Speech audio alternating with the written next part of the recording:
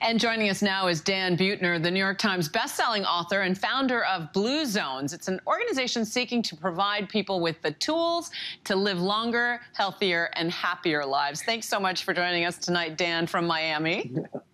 I'm delighted. Well, in your new book, The Blue Zone Challenge, you provide a four week guide to those looking for a longer, better life, and that's pretty much all of us. Uh, you model your guide off of so called blue zones. Can you first break down for us what those blue zones are? Yeah, so it was a National Geographic project to reverse engineer longevity. And because only 20% of how long you live is dictated by your genes, the other 80% is something else we found the statistically longest lived places in Sardinia, Italy, Okinawa, Japan, the island of Ikaria, Greece, the Nicoya Peninsula of Costa Rica, and among the Seventh day Adventists in uh, the United States here. And then over the next decade, we searched for the common denominators or the correlates. And we believe we found a, a pretty convincing set of guidelines and, and wisdom distilled from people who've achieved the outcomes we want. And we're just uh, clicking through some of the images of you hanging out with those clearly um, uh, long lived people in these various parts throughout the globe. Uh, you begin your book by breaking down the power of nine that you describe to be the habits of the world's healthiest and longest living people. And these are people, as you mentioned, from people from Greece, Japan, Costa Rica. What are those commonalities that you discovered in your research? Yeah, so these are people who are not suffering from diabetes and heart disease and many of the cancers that are foreshortening our lives. And you see, they don't exercise as much as they live in environments where they're nudged into movement every 20 minutes or so. So, walkable communities, they have gardens out back, they, their houses aren't full of conveniences, they have sacred daily rituals to reduce the stress of everyday life. 65% of, of their dietary intake comes from complex carbohydrates. This is largely a whole food, plant based diet. And, and by the way, eating this way can confer about six extra years of life expectancy over eating the standard American diet. So less processed food, clearly. Now, give us a sense of some of those rituals that you talked about. That's intriguing to me. What are those things that, that help with longevity? Yeah, so every time you're in a hurry or feel worried or stressed, it triggers the inflammatory response. And inflammation is at the root of every major age related disease.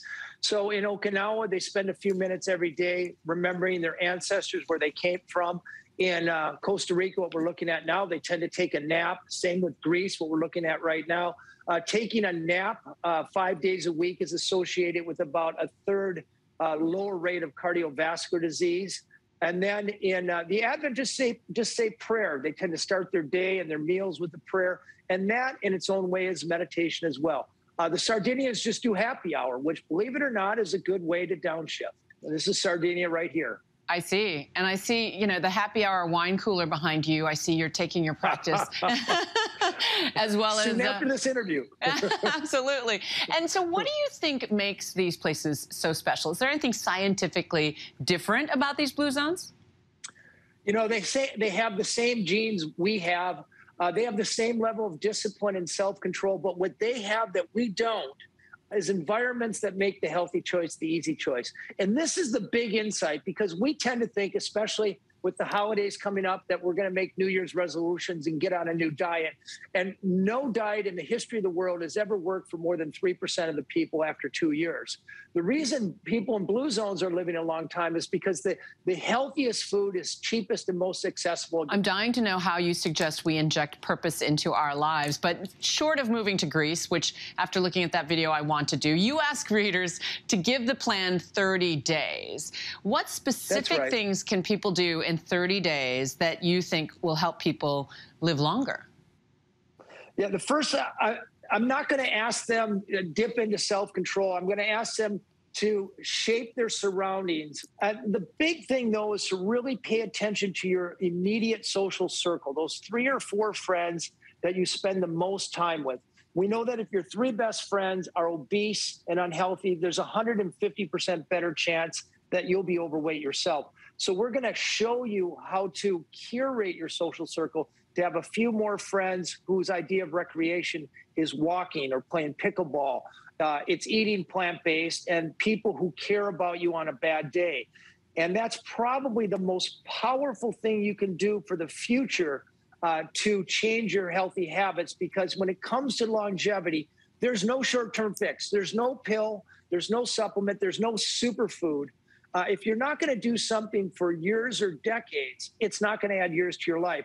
And the Blue Zone Challenge takes you over the course of four weeks, holds you by the hand, and shows you how to engineer your surroundings so you will unconsciously make the better choice all day long. I have to say that with the new year right around the corner, many of us are going to make resolutions to live a healthier, more meaningful new year. And yet, so often people struggle to make that lasting change, right? What advice would you give someone who's looking for long term change in the new year? Well, it goes back again to, to, to not thinking you're going to change your behavior. We never successfully change your behavior, uh, but uh, shaping your environment. So, again, we're asking you to engineer your surroundings, not trying to change your mind, not tr- asking you to be disciplined, not asking you to exert inhuman self control. Well, Dan, I've been scribbling notes the entire time you've been talking. Thank you, Dan Buettner. Your new book, The Blue Zone Challenge, is available wherever books are sold. Thanks for joining us. Hi, everyone. George Stephanopoulos here. Thanks for checking out the ABC News YouTube channel. If you'd like to get more videos, show highlights, and watch live event coverage, click on the right over here to subscribe to our channel. And don't forget to download the ABC News app for breaking news alerts. Thanks for watching.